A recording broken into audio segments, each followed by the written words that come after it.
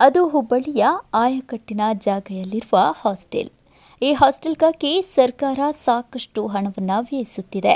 ಆದರೆ ಇಲ್ಲಿನ ಅವ್ಯವಸ್ಥೆ ನೋಡಿದರೆ ನಿಜಕ್ಕೂ ವಿದ್ಯಾರ್ಥಿಗಳ ಕಷ್ಟ ಅರ್ಥವಾಗುತ್ತೆ.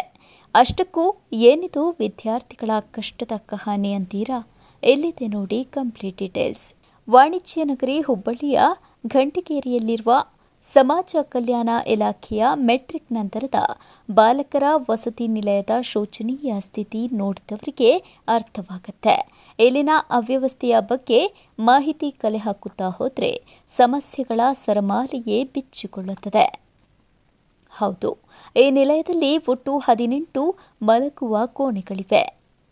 ಅದರಲ್ಲಿರುವ ನಾಲ್ಕು ಕೋಣೆಗಳನ್ನು ಬೀಗ ಹಾಕಿ ಬಂದ್ ಮಾಡಲಾಗಿದೆ. ಇನ್ನುಳಿದ ಹದಿನಾಲ್ಕು ಕೋಣೆಗಳಲ್ಲಿ ನೂರ ಐವತ್ತು ವಿದ್ಯಾರ್ಥಿಗಳು ಇರಬೇಕಾಗಿದೆ.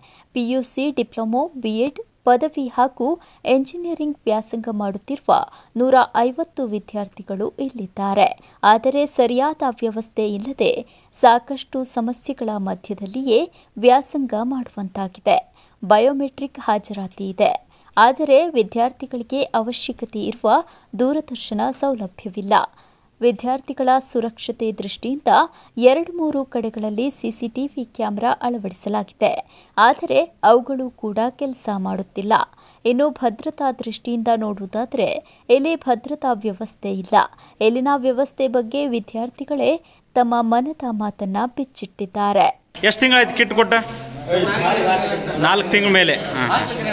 ನಿಮ್ಗೆ ಒಂದು ನೀವು ನಾಷ್ಟಾದ ಏನು ಕರೆಕ್ಟ್ ಕೊಡ್ತಾರ? ಹೆಂಗೆ ಏನು? ಚಪಾತಿ ಪಲ್ಯ ಏನು ಇರೋದಿಲ್ಲ ಸಾಂಬಾರ್ ಅಂತ ಏನಿಲ್ಲ. ಅದನ್ನ ಒಂದ್ ಸತಿ ನಾನು ಬಾಕ್ಸ್ ಕಟ್ಕೊಂಡು ಡಿ ಸಿ ಆಫೀಸ್ಗೆ ಕೊಡ್ಬೇಕಂತ ಹೇಳಿದ್ದೆ ಅವ್ರಿಗೆ ಸುಮ್ಮನೆ ನಾನು ಇಲ್ಲೇ ಇರೋದಿಲ್ಲ ವರ್ಕ್ ಮಾಡ್ಬೇಕು ನಾನು ಜಾಸ್ತಿ ಓದೋಕಂತ ಹೋಗ್ಬೇಕಾಗುತ್ತೆ. ಅದನ್ನ ಟೈಮ್ ಇರಲ್ಲ ಅಂತ ನಾವು ಮಾಡ್ತಿಲ್ಲ ಅಷ್ಟೇ. ಅದನ್ನೇ ಇವ್ರು ಅಡ್ವಾಂಟೇಜ್ ತಗೊಂಡು ಹಿಂಗ್ ಮಾಡಬಾರ್ದು. ಮಕ್ಕಳು ಇರ್ತಾರೆ ತಮಗೂ ಕೂಡ ಅಷ್ಟು ಹಿಂಗ್ ಮಾಡ್ಬೇಕು. ಇಷ್ಟು ಜನ ಮಕ್ಕಳಿಗೆ ಹೊಟ್ಟೆ ಹೊಡೆದ್ರೆ ಎಷ್ಟು ಎಫೆಕ್ಟ್ ಇಲ್ಲೊಬ್ರು ಯಾರಾದ್ರೂ ದಪ್ಪ ಇದಾರೆ ತೋರಿಸ್ತೀನಿ ನಂಗೆ ದಪ್ಪ ಇಲ್ಲ. ಯಾಕಿಲ್ಲ? ಪೌಷ್ಟಿಕ ಕೊಡೋದಿಲ್ಲ ಈ ಪೌಷ್ಟಿಕಾಂಶ ಆಹಾರ ಏನೇನು ಕೊಡ್ತಾ ಇದಾರೆ ಗೌರ್ಮೆಂಟ್ ಎಸ್ಪೆಷಲಿ ಎಸ್ ಅಂತ ಈಗ ಬಿಜೆಪಿ ಗೌರ್ಮೆಂಟ್ ಬಂದು ಲಾಸ್ಟ್ ನ್ಯೂಟ್ರಿಷನಲ್ ವ್ಯಾಲ್ಯೂ ಅಡಿಷನ್ ಮಾಡ್ಬೇಕಂತ ಹೇಳಿ ಮತ್ತು ಬಹಳಷ್ಟು ಫೆಸಿಲಿಟಿಗಳನ್ನ ಕೊಡ್ತಾರೆ. ಅದನ್ನ ಇವರು ಸರಿಯಾಗಿ ಟ್ರಾನ್ಸ್ಪರೆನ್ಸಿ ಮಾಡಬೇಕು. ಇಲ್ಲಿ ಲಿಸ್ಟ್ ಹಾಕ್ಬೇಕು ಲಿಸ್ಟ್ ಹಾಕಬೇಕು. ಸೂಚನಾ ಫಲಕದಲ್ಲಿ ಹಾಕೇ ಇಲ್ಲ ಏನು? ಗೌರ್ಮೆಂಟ್ ಇಂದ ಎಷ್ಟು ಫಂಡ್ ಬರ್ತದೆ ನಾವು ಎಷ್ಟು ಎಲ್ಲಿ ಖರ್ಚು ಮಾಡ್ತಾ ಇದೀವಿ ಅನ್ನೋ ಟ್ರಾನ್ಸ್ಪರೆನ್ಸಿ ಬೇಕು ಗವರ್ನೆನ್ಸ್ ಅಲ್ಲಿ. ಅದು ಬೇಸಿಕ್ ರೈಟ್ ಕೂಡ ಟ್ರಾನ್ಸ್ಪರೆನ್ಸಿ ಅದನ್ನ ತೋರಿಸ್ತಾ ಇಲ್ಲ ಇವ್ರು. ಹ್ಞೂ ಹ್ಞೂ ಇವಾಗ ಮತ್ತೆ ನಿಮಗೆ ಮತ್ತೆ ಬೇರೆ ಏನು ಸಮಸ್ಯೆ ಇದೆ?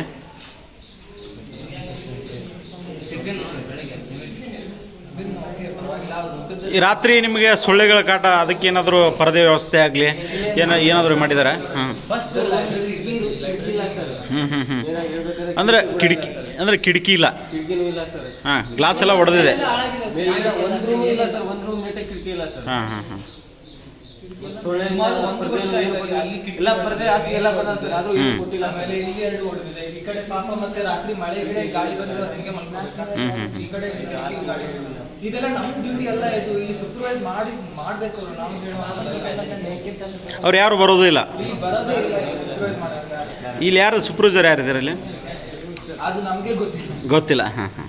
ಇಲ್ಲಿ ಬಂದ್ರೆ ಗೊತ್ತಾಗುತ್ತೆ ಯಾರಾದರೂ ಅಧಿಕಾರಿಗಳು ಯಾರು ವಿಸಿಟ್ ಮಾಡಿರ್ತಾರ ಏನಾದರೂ? ಇವ್ರು ಕೂಡ ಬಂದಿಲ್ಲ ಎಸ್ಪೆಷಲಿ ಸೋಷಿಯಲ್ ವೆಲ್ಫೇರ್ ಡಿಪಾರ್ಟ್ಮೆಂಟ್ ಹೌದು. ಬರಬೇಕು ಅವ್ರು ಬರೋದನ್ನೇ ಇಲ್ಲ ಇಲ್ಲಿ. ಓಹೋ ಅಧಿಕಾರಿಗಳು ಯಾರು ಕೂಡ ಇನ್ನು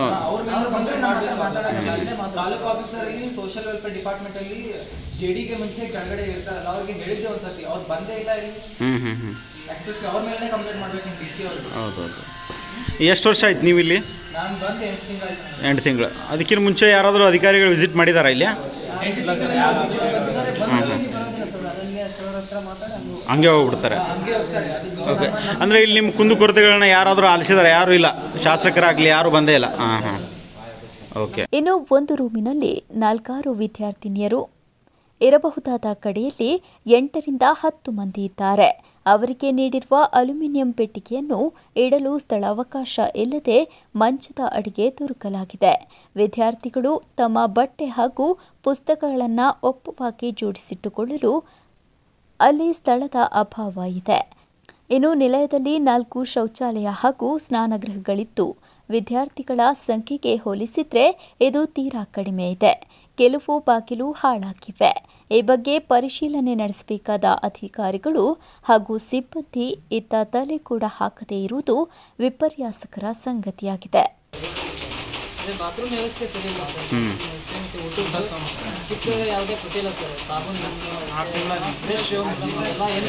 ಕಿಟ್ ಏನು ಕೊಟ್ಟಿಲ್ಲ.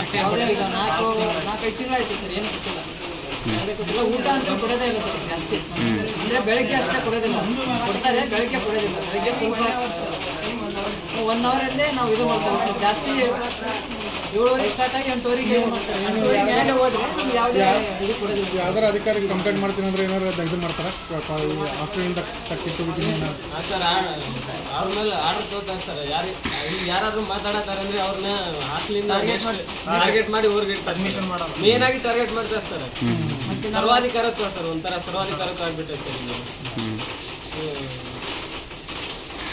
ಅದಕ್ಕೆ ಜಾಸ್ತಿ ಯಾರು ವಿದ್ಯಾರ್ಥಿಗಳು ಮಾತಾಡಲ್ಲ ಸರ್ ಅಂದ್ರೆ ಅವ್ರನ್ನ ಟಾರ್ಗೆಟ್ ಮಾಡಿ ನೆಕ್ಸ್ಟ್ ಟೈಮ್ ಅವ್ರನ್ನ ಹೊರಗಡೆ ಇಟ್ಬಿಡ್ತಾರೆ ಆಲ್ರೆಡಿ ಎಷ್ಟೋ ಜನ ಅಡ್ಮಿಷನ್ ಎಷ್ಟೋ ಜನ ಮಾಡಿ ಕಳಿಸಿದ್ದಾರೆ ಸರ್ ಮಾತಾಡಿದಾರೆಲ್ಲ ಇಲ್ಲಿ ಯಾರು ಅದಕ್ಕೆ ಯಾರು ಮಾತಾಡಲ್ಲ ಅವ್ರು ಅಷ್ಟೇ ಇರ್ತಾರೆ ಸರ್ ಇಲ್ಲಿ ಮಾತಾಡೋರೆಲ್ಲ ಹೊರಗೆ ಸರ್ ಅವರು ಅಂದರೆ ಈಗ ಇಲ್ಲಿ ಜಾಸ್ತಿ ಹೊರಗೋಗಿರ್ತಾರೆ ಸರ್ ನೀವು ಮಾತಾಡೋದ್ರೆ ನೆಕ್ಸ್ಟ್ ಇಯರ್ ನೀವು ಇಲ್ಲಿ ಅಡ್ಮಿಷನ್ ತೊಗೊಳಂಗಿಲ್ಲ. ಅಡ್ಮಿಷನ್ ಎಲ್ಲ ತಗೊಳಲ್ಲ. ಯಾವುದೇ ಅಧಿಕಾರಿಗಳು ಬಂದ್ರೆ ನಮ್ಮ ನಮ್ಮನ್ನೇನು ಕೇಳಲ್ಲ ಸರ್ ಇಲ್ಲಿ ಇಲ್ಲಿ ವಿಸಿಟ್ ಅಂಕ್ರಿ ಮಾಡಂಗಿಲ್ಲ ಬಂದರು ಇಲ್ಲಿ ಒಳಗಡೆ visit ಮಾಡಲ್ಲ ಸರ್ ಇಲ್ಲೇ ಹೋಗ್ಬಿಡ್ತಾರೆ ಸರ್ ನಾವು ವರ್ಷ ವರ್ಷ ಅದೊಂದೆಲ್ಲ ಇದು ಒಂದು ಬಹಳ ಸಲ ಕಂಪ್ಲೇಂಟ್ ಮಾಡಿ ಆದ್ರೆ ಏನು ಸೊಲ್ಯೂಷನ್ ಓಹೋ. ವ್ಯಕ್ತಿಗಳಂದ್ರೆ ಡಿವೈಸ್ ಬಂದಿದ್ರು ಸರ್. ಆದ್ರೆ ಅವರೆಲ್ಲ ಕೇಳಿ ಹೋಗ್ಬಿಟ್ರು ಸರ್. ಆದ್ರೆ ಏನು ಪ್ರಯೋಜನ ಆಗಿಲ್ಲ ಸರ್. ಆಕ್ಷನ್ ತಗೊಂಡಿಲ್ಲ ಸರ್. ಎಲ್ಲ ಹಂಗೆ ಹೇಳಿ ಅದು ವರ್ಷ ವರ್ಷ ಅದೆಲ್ಲ ನಿಮ್ದೇನು ಸಮಸ್ಯೆ ಇದೆ ಬನ್ನಿ ಎಲ್ಲ ಮಾತಾಡಿ ಅಂತ ಕಳಿಸ್ತಾರೆ ಸರ್. ನಾವಲ್ಲೆಲ್ಲ ಸಮಸ್ಯೆಗಳನ್ನ ಹೇಳ್ತೀವಿ ಆದ್ರೆ ಅವ್ರು ಯಾವುದೇ ಹೂ ಅಂತೇಳಿ ಸುಮ್ಮನೆ ಆಗ್ತಾರೆ ಸರ್. ಏನು ಮೀಟರ್ ಇಲ್ಲ ಸರ್ ಅಷ್ಟೇ ಕರೆಸ್ತಾರೆ ಸರ್. ಆದ್ರೆ ಏನು ಪ್ರಯೋಜನ ನಾವು ಹೇಳ್ತೀವಿ ಸರ್ ಅದು ಅಲ್ಲಿಗೆ ಸ್ಟಾಪ್ ಆಗ್ಬಿಡುತ್ತೆ ಸರ್. ಈಗ ಹೆಂಗೆ ಹೇಳಿ ಸರ್ ಎಲ್ಲರಿಗೆ ಡಿವೈಸ್ ಬಂದ್ರೆ ಸರ್ ಒಂದು ತಿಂಗಳಿಗೆ ಅಲ್ಲಿ ಹೇಳಿದ್ವಿ ಸರ್. ಆದ್ರೆ ಈ ತರ ಅಲ್ಲೇ ಕ್ಲೋಸ್ ಆಗಿದೆ ಸರ್ ಏನು ಆಕ್ಷನ್ ತಗೊಂಡಿಲ್ಲ. ಅವ್ರು ಅದು ಸುಮ್ಮನೆ ಮಾಡಿ ಹೋಗ್ತಾರೆ. ನೀವು ತಿಂದ್ರೆ ತಿನ್ರಿ ಇಲ್ಲಾಂದ್ರೆ ಬಿಡ್ರಿ ಅಂತ. ಅವ್ರ ಲೆಕ್ಕಕ್ಕೆ ಅವ್ರು ಮಾಡಿ ಹೋಗ್ತಾರೆ. ಅಂದ್ರೆ ಮಾಡಿ- ವಿಟಮಿನ್ಸ್ ಪೋಷಕಾಂಶ ಏನು ಇರೋದಿಲ್ಲ ನೀವು ಮಾಡಿದ ಮಾಡಿದ ಅಡಿಗೆ ಎಲ್ಲ ಅಷ್ಟ ಅಷ್ಟು ಅನ್ನ. ಹಾಂ ಅಷ್ಟು ಅನ್ನ ಎಲ್ಲ ಕೆಟ್ಬಿಟ್ಟಿದೆ ಇವಾಗ. ಇನ್ನೂ ಜಾಸ್ತಿ ಕೇಳುತ್ತಾರೆ ನೀವು ಸ್ವಲ್ಪ ಬೇಗ ಬಂದಿದ್ರೆ ಎಲ್ಲ ಹೆಂಗಾಗಿತ್ತಲ್ಲ ಎಲ್ಲ ಚೆನ್ನಾಗಿರ್ಲಿಲ್ಲ ಸರ್ ಎಲ್ಲ. ಎಲ್ಲ ನಾಯಿ ಪೈ ಬಂದು ಎಲ್ಲ ಇದು ಮಾಡಿಬಿಡ್ತಾರೆ ಸರ್. ದನಗಳೆಲ್ಲ ಜ- ಹಂಗೆ ಬರ್ತವೆ ಸರ್. ಏನು ಏನು ಕೇರ ಮಾಡಲ್ಲ ಸರ್. ಸ್ಪೋರ್ಟ್ಸ್ ಸಾಮಾನು ಏನು ಇಲ್ಲ ಸರ್. ಸ್ಪೋರ್ಟ್ಸ್ ಇಲ್ಲ ಏನಿಲ್ಲ. ಇಲ್ಲಿ ತೋರಿಸ್ ಒಟ್ಟಿನಲ್ಲಿ ಸಮಾಜ ಕಲ್ಯಾಣ ಇಲಾಖೆಯ ಅಧಿಕಾರಿಗಳು ವಸತಿ ನಿಲಯಕ್ಕೆ ಭೇಟಿ ನೀಡುವುದಿಲ್ಲ. ವಿದ್ಯಾರ್ಥಿಗಳ ಕುಂದು ಕೊರತೆಗಳನ್ನು ಆಲಿಸುವುದಿಲ್ಲ.